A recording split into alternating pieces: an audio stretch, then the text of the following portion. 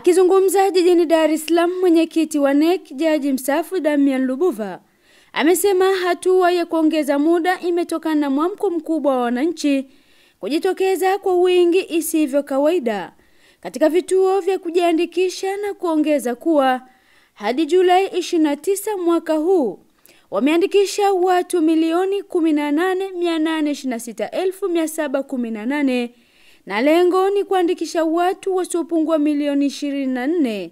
Hivyo kwa takwimu hizi zaidi ya watu milioni nne bado hawajajiandikisha. Mwamko mkubwa uli, ulioonekana wananchi kujitokeza kwa wingi isivyo kawaida huku awali katika vituo mbalimbali.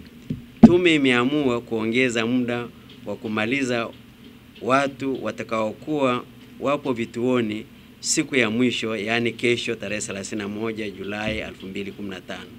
Sasa muda umeongezwa kwa siku nne kumalizia uandikishaji huo.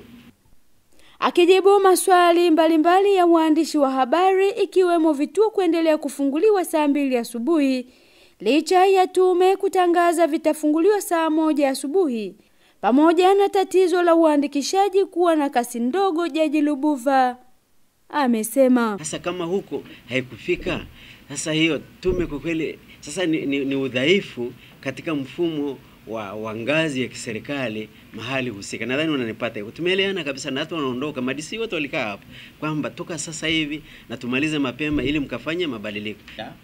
Kwa wale ambao hawezi kwenda tuwawekea e, e, mfumo ambao kwenye simu zenu za mkononi ukipiga star e, moja moja tano mbili star sifuri sifuri ash utakuta inakuja e, nani utakuwa kuna namba, kuna namba moja namba mbili. Namba mbili ni Tume ya Taifa Uchaguzi. Ukienda kwenye Tume ya Taifa Uchaguzi itakwambia weka kadi yako, namba yako ya kadi ya kupigia kura. Ukiweka itakupa taarifa kuangalia kama kama ziko sahihi. Kama ziko sahihi unazisahihi. Zoezi hili kwa mkoa wa Dar es Salaam lilikuwa likamilike Julai 31 ambapo katika vituo mbalimbali vya kujiandikisha vilivyotembelewa na ITV idadi ya watu bado imeendelea kuwa kubwa huku baadhi ya wananchi waliojitokeza kujiandikisha wakilalamikia upendeleo unaofanywa na wasimamizi ambao wamedai kuwa wanawapa kipaumbele watu wanaowajua, ili hali baadhi yao wamefika kituoni hapo alfajiri kwa ajili ya kuwainamba namba.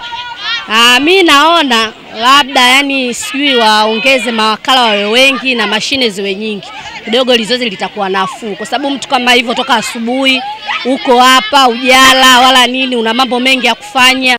Katika hatua nyingine, idara ya uhamiaji nchini imebaini raia wa kigeni zaidi ya elfu mbili waliojitokeza kujiandikisha katika daftari hilo.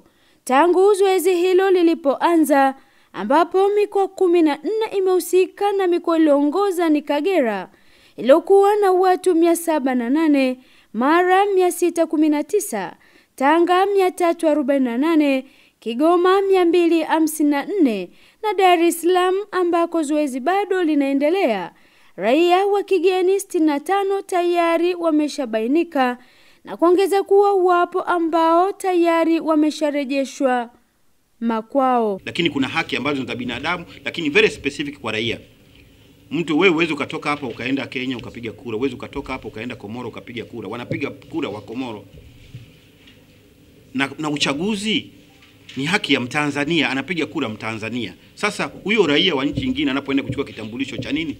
Licha ya wakazi wa jiji la Dar es Salaam kuwa na heka heka nyingi za kujitafutia riziki, lakini katika zoezi hili la kujiandikisha hali imekuwa tofauti kutokana na vituo vingi kuwa na idadi kubwa ya watu tofauti na hata tume ilivyotarajia. Nikiripoti kutoka jijini Dar es Salaam, mimi ni Ufosaro wa ITV.